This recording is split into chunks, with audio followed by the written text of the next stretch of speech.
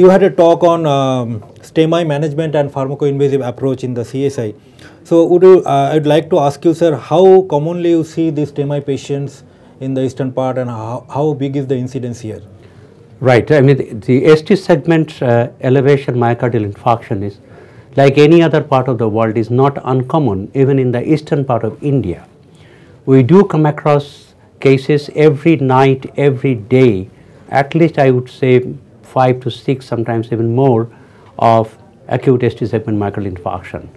It is a big concern because as we all know that nearly 20% of these patients are not being treated properly because of a number of reasons. One is the recognition of the problem, timely arrival to the hospital, then therapeutic options, and of course the management.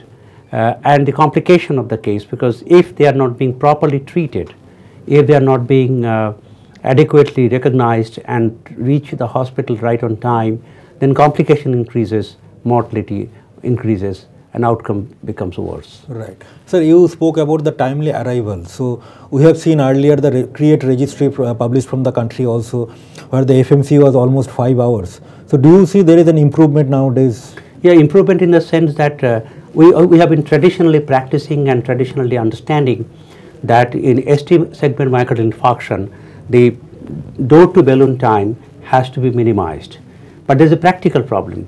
I mean, not only in Kolkata, not only in eastern India, not only in India, but I think globally that right on time to take the patient to the lab is not as simple as it is being said. There are a number of factors which are involved at the patient's level, at the doctor's level, at the transport level, even at the hospital, the availability of the hmm. right kind of staff, cath lab, so many issues are there. So uh, in India generally, uh, of late we are actually trying to treat these patients with initial thrombolytic therapy and then later on, uh, while the patient is on thrombolytic therapy, we try to transfer the patient to the hospital. This is a scenario even in the city area. But we have to also say that larger number of these patients are even in the non-urban uh, areas. There is no facility of cath lab. So forget mm-hmm. about taking them to the cath lab to reduce the door to balloon time because they don't, do not have any access to the cath lab for sort of a primary angioplasty. So I personally believe and I reckon that this group of patients, if they are being treated adequately right on time by newer thrombolytic agent like tenecteplase, then the advantage of that tenecteplase can be administered right on time, even at the, at the, at the patient's house, even in the ambulance, at the door of the patient, and after that, you can transport the patient wherever the uh, cath lab facilities are available or tertiary care facilities are available. One of the important determinant of prognosis and outcome of STEMI patient is the thrombotic burden of acute coronary syndrome. And tenecteplase in particular has been shown to reduce this thrombotic burden. As you reduce the thrombotic burden, you can actually bring the flow back to the target vessel. Therefore, when the restoration of the blood flow comes in, then the chances of complication and chances of salvage improves. Uh, and complication reduces and salvage and improves and the outcome becomes better. That is definitely a, a, a, case. In my personal practice, I find that a good number of patients who are relatively young and they got an sort of acute heart attack, which is a STEMI, and they have been treated with tenecteplase either by the family physician or even at a sort of a tertiary or secondary level hospital by tenecteplase as a thrombolytic therapy. And they are younger patients. They do not have any other risk factor. Maybe some of them were di mildly diabetic, some of them were smoker.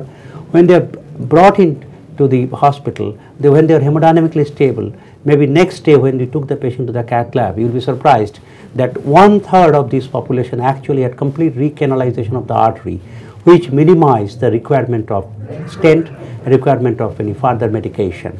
So therefore, we need to have more understanding of how this subgroup of patients who are being pre-treated with thrombolytic therapy like tenecteplase may have a different outcome altogether. And one third of this population, especially those who are young, may not need a, any further intervention like angioplasty or even furthermore bypass surgery. So I personally feel that the newer thrombolytic therapy like tenecteplase in the STEMI care management as a pharmacoinvasive therapy would be of paramount importance in the management of STEMI, perhaps in our country, more so where there is about 70% of the population are still living in an area where there is no facility of cardiac cath lab, no facility of having tertiary healthcare center.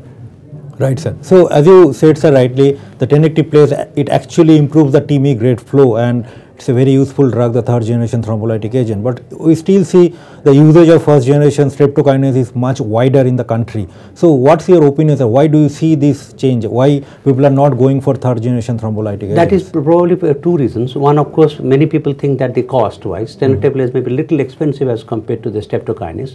One, I think much more than the cost, what is perhaps much more important is the awareness that tenecteplase is a drug, it's a single dose therapy, uh, given can be given without even any monitoring, can be given at home, can be given in an ambulance, and can be given by by a family physician.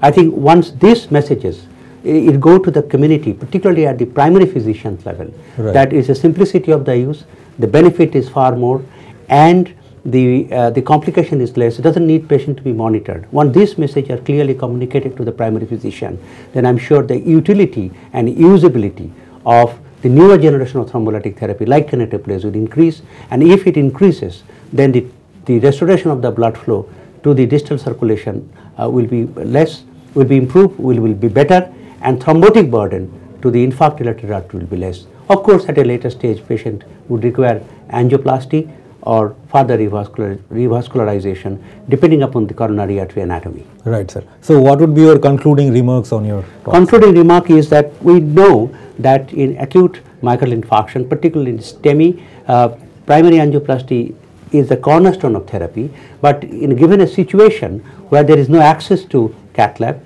given a situation where the afford, uh, situation where the manpower would be an issue, given a situation where the uh, accessibility of the patient to the tertiary care center is not easy, tenecteplase uh, must be considered. And I personally feel that pharmacoinvasive therapy in STEMI care management, uh, it has an immense role uh, to play in STEMI uh, uh, treatment in India.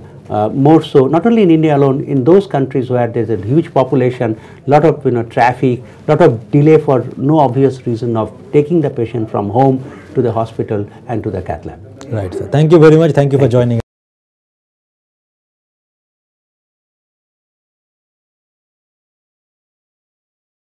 Right. I mean, the, the ST segment uh, elevation myocardial infarction is like any other part of the world is not uncommon even in the eastern part of India.